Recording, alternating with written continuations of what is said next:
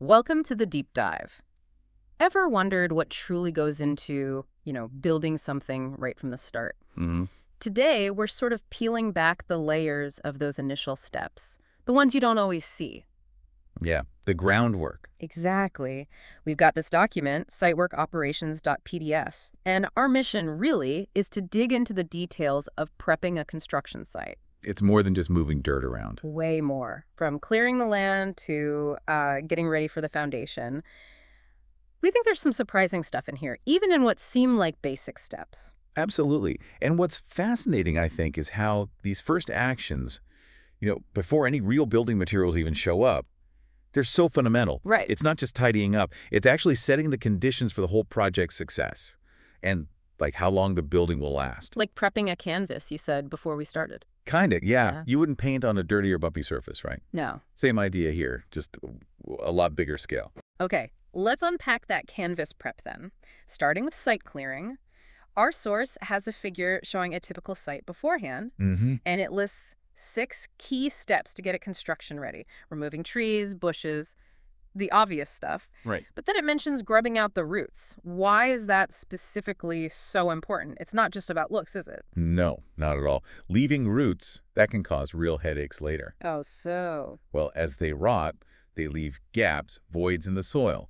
That can mean the foundation settles unevenly. Ah, okay. Plus, some roots can actually regrow and maybe damage pipes or utilities you put in later. So yeah, it's about creating a stable, predictable base. Makes sense. And the other steps, getting rid of old structures, clearing junk, doing a rough level, make sure water drains away, it all adds up to that clean, stable starting point. So choosing the right piece of land in the first place, that sounds even more crucial now. Oh, definitely. Our source lists uh, six factors for selecting a site. Things like soil bearing capacity, how much weight it can take, Yep, critical. proper drainage, easy access for trucks, and, well, people eventually. Mhm. The actual shape of the land, the topography, environmental factors, local rules, it's quite a list. It is. It's way more strategic than just finding an empty plot. Is there one factor people sometimes maybe overlook, something that could really bite them later? That's a good question. I think while people focus on soil strength and drainage, sometimes the site's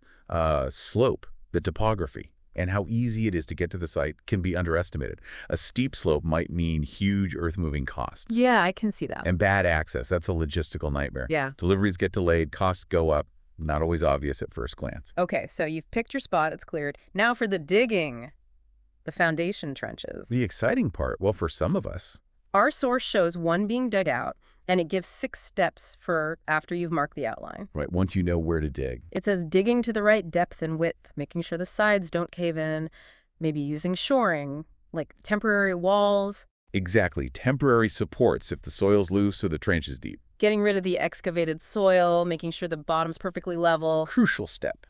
checking the measurements against the plans constantly. Yeah.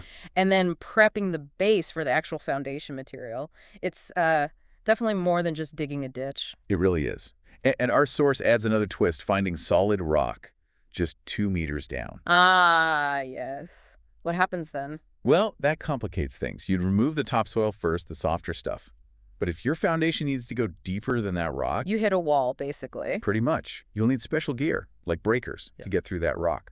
Adds time, adds cost. Okay, but how do you even know where to start digging that trench? The layout. Precisely. The setting out. Figure two in our source shows this. It labels three things. I is a profile board. hmm Visual markers at the corners. I are pegs holding those boards up. Yep. And third is the batter board string or building line. That's the string stretched between the boards, right? Yeah. Showing the exact edge. That's it. Those simple things, bits of wood, string, create this temporary 3D guide for the whole building. a blueprint on the ground. Exactly. Mhm. And any mistakes here, they just get bigger as you go up. So you need the right tools to get it spot on. The source mentions a tape measure, obviously, a builder square or set square for the right angles, Essential for those corners. and a spirit level to make sure everything's flat and vertical. You really can't just guess this stuff. Absolutely not. hmm Precision is key in construction. Small errors down low can cause big structural problems up top. Walls not lining up roof issues. Speaking of perfect angles, let's talk about the 3.4.5 rule, that classic geometry trick. Ah, yes, Pythagoras in action. So if one side of your triangle, the three-foot side, is, say, 6,000 millimeters, Okay. then the four side should be 8,000 millimeters, and the diagonal, the five side, the hypotenuse must be 10,000 millimeters. Get those measurements right, and you have a perfect 90-degree angle. Yep.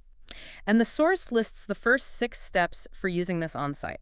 Marking a baseline, measuring out the three and four lengths, adjusting things until that diagonal five-foot length is exact. It's amazing, isn't it? Yeah. Such a simple math principle, Mhm. still so vital. It really is. Been used forever, basically. Because it works. and it's reliable. Even with fancy lasers today, it's still a great way to double-check things quickly. Now, back on that layout diagram, it mentions measurements D and E. If those are the trench width, Mm-hmm. and the source somewhere else says 600 millimeters for the trench, then D and E would both be 600 millimeter, just keeping it consistent. That sounds right. Maintaining that consistent width is really important. Why exactly? It relates directly to how the foundation spreads the building's load. Generally, a wider base spreads the weight better. If the width varies, You get weak spots. you could, yes, it could compromise the whole foundation's strength. Okay, right. So trenches are dug, but a building site is chaos.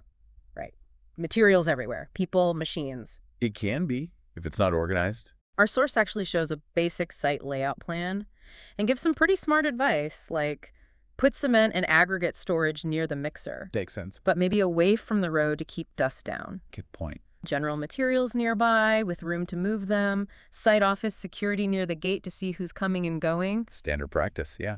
Control access. and things like toilets or the break room tucked away in a quieter corner for, you know, hygiene and safety. Definitely. A well-organized site isn't just efficient, it's much safer too. Fewer hazards, less wasted time finding things. Precisely. Good flow, good conditions. And on safety, the source talks about hoarding, that temporary fence around the site. Ah, yes, the perimeter fencing. It gives two main benefits. One, keeps the site secure, stops people wandering in, stops theft. Very important. And two, protects the public, keeps them out of a potentially dangerous area. So it's not just ugly, it's functional. Absolutely critical. It's a physical barrier, keeps everyone safe, workers inside, public outside.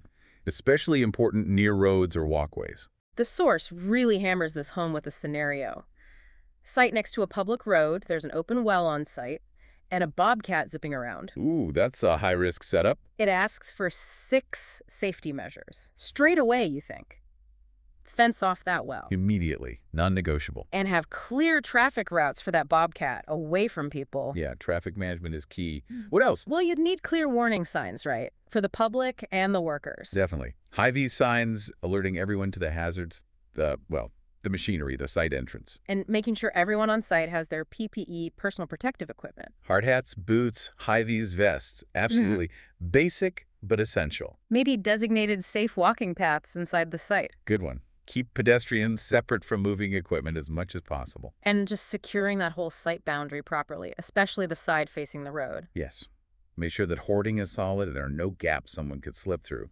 Control the access points strictly. Okay. Now, we've used some specific terms here. Our source defines three key ones from site work. First, backfilling. Right. That's just putting soil back into a hole you dug, usually after you've put something in it, like a pipe or around a foundation. Got it. Then earthing. That sounds electrical. It is. It's about safety, creating a connection from electrical systems down into the ground So if there's a fault, the electricity goes safely into the earth instead of instead of through a person. Exactly. Prevents electric shock. Crucial safety measure. And the third one, salvaging. That's basically recovering useful stuff from demolition or site clearing. Wood, metal, maybe bricks. So you can reuse or recycle them? Exactly. Less waste, maybe save some money on new materials. It's becoming much more common, which is good. It helps to know the lingo. Definitely. Clear communication relies on everyone understanding these basic terms. So last couple of points. Who's actually running the show here? The source mentions the building contractor. Yeah, the contractor is generally the one responsible for the whole thing. Yeah. Making sure it's built right, following plans, managing safety, hiring people. The main coordinator. Pretty much. They manage all the different trades and subcontractors. And who are those people on site? The source gives examples like general laborers, Yep, doing a lot of the physical work. skilled tradespeople, carpenters, bricklayers, electricians, plumbers, The specialist. and site managers overseeing the day-to-day operations. Right, keeping everything on track. It's a real team effort. Lots of different skills needed. Okay, so we've really uh, dug into these first stages, haven't we? We have from clearing the ground, picking the spot, laying out where things go, organizing it all, keeping it safe. It's clear that what looks like maybe the simple part is actually super systematic, needs a lot of planning, a lot of attention to detail. And it's worth remembering that these steps, the ones people might not even see in the finished building, they're absolutely vital For what comes after? for the building's stability, its safety, how well it performs over decades. Cutting corners here, that can lead to serious, long-lasting problems. So thinking about all that meticulous planning, that detail, Yeah. just for these initial steps, what does that tell you, really, about how complex the whole construction process is Yeah. and the level of expertise you actually need? It makes you appreciate it's not just, you know, s- sticking bricks together. It's this incredibly orchestrated process, starting quite literally from the ground up. Well said.